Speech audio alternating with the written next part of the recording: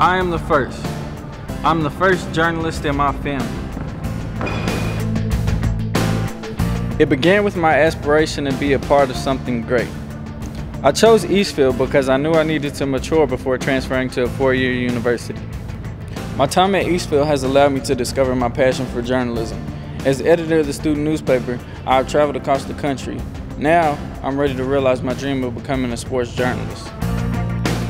Make the smart move. Be the first.